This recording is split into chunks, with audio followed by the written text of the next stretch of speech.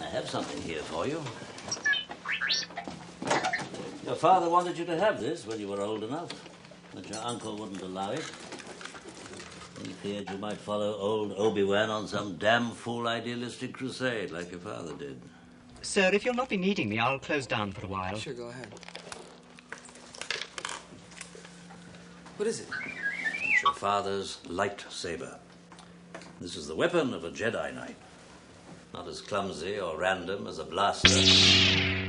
An elegant weapon for a more civilized age.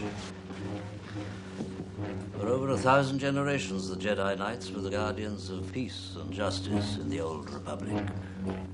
Before the Dark Times. Before the Empire.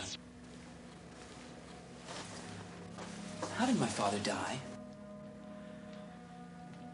A young Jedi named Darth Vader, who was a pupil of mine until he turned to evil, helped the Empire hunt down and destroy the Jedi Knights. He betrayed and murdered your father. Now the Jedi are all but extinct. Vader was seduced by the dark side of the Force. The Force? The Force is what gives the Jedi his power. It's an energy.